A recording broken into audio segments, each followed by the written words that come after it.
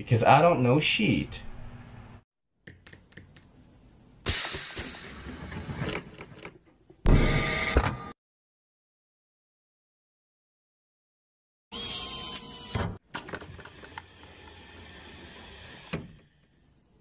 Yo, what is good, YouTubes? This is your boy in NYC. It's me, Ray, and this is the EDCC. That is the Everyday City Carry. And today we've got another episode of Too Many Cuts because I have knives that I have held on to for too long and I've got to send them out. Okay, so first up, we're going to look at the, we, well, first of all, we're going to be looking at the Artisan Cutlery Centauri and the Kansept Knives Kryo, all right? Let's check out the Kryo first and I'm going to take a look at my cheat sheet because I don't know sheet.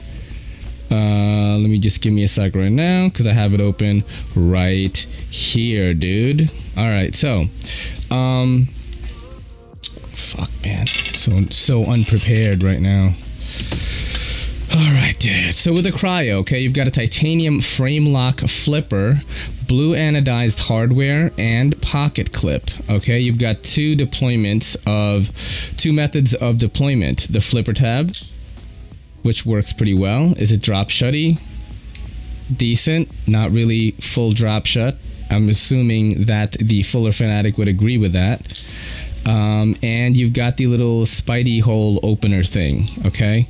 Um, i don't know what it is but with this particular version of the Kryo from Kansept knives shout out to Kansept knives of course i like the mini Kryo better. I had a better experience with it. It was smoother and this one just feels a little stiff. It's like really heavy too.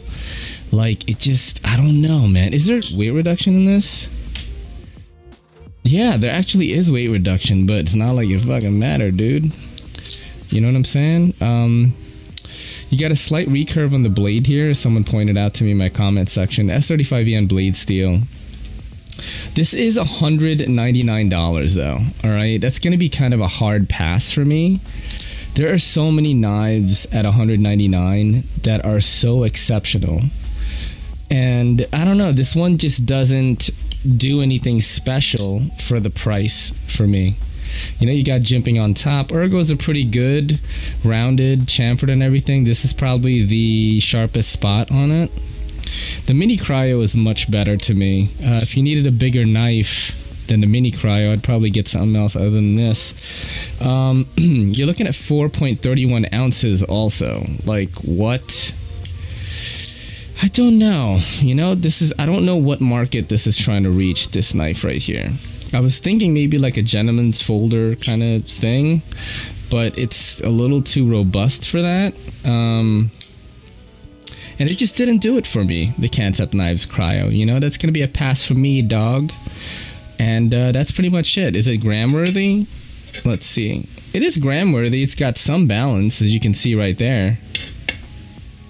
So, you know, that's what you're working with, man. Let's check out the other guest of the episode, though. Baboom, the Artisan Cutlery Centauri. I have been promoting this knife so hardcore on all my social media platforms, whether it's TikTok or fucking, you know, Twitter or Instagram, YouTube. Um, I when I get pocket checked by people, I just love this thing. This is by Ray Laconico, as you can see on the spine there. His signature little thing. It says R Laconico and Artisan Cutlery. Pretty dope. You've got the lanyard hole through the back, right? and I'm always trying to be an advocate for that. This is a frame lock, titanium and carbon fiber scales, absolutely beautiful uh, Damascus blade. I don't usually like Damascus that much, but this is so nice.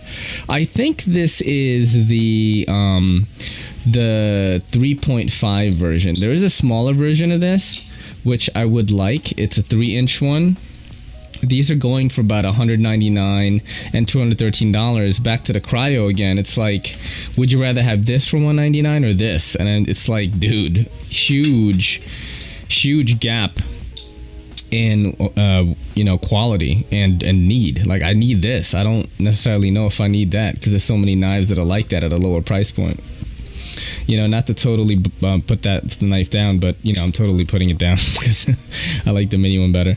But yeah, let's get back to this. Look at this pocket clip too. What do you guys think about that? I think it looks pretty dope.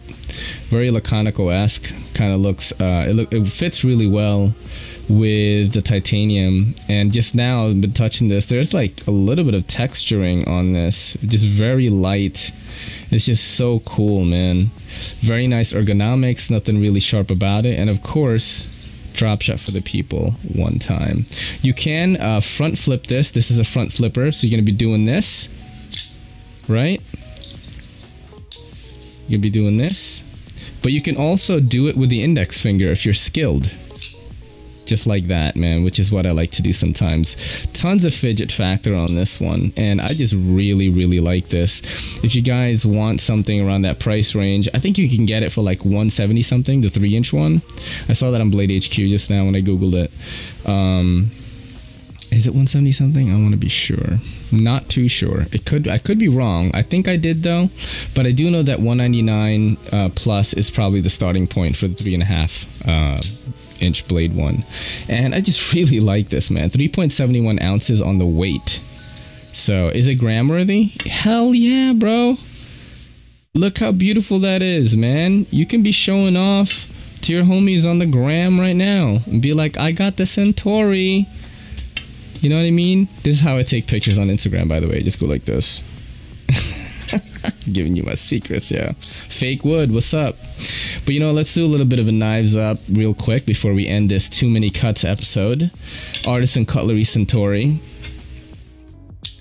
Kansept Knives Kryo. Uh, the M40-03 Deadbolt from CR- CRKT. And the completely disappointing Razel Cliff from CRKT. I don't know why they keep doing uh, Graham Razel or uh, Graham Designs. I forgot what his fucking name is. Something Graham. Um, they keep doing them wrong, man. Because this is just such a disappointment. But anyway, yo, this is Too Many Cuts episode. Uh, I don't know which, how many, but you know, thank you for tuning in. This is your boy in the NYC. It's me, Ray, and this is the EDCC saying peace. Yo, don't forget to hit that subscribe button and don't forget to hit that bell icon so we can squad up in the comments.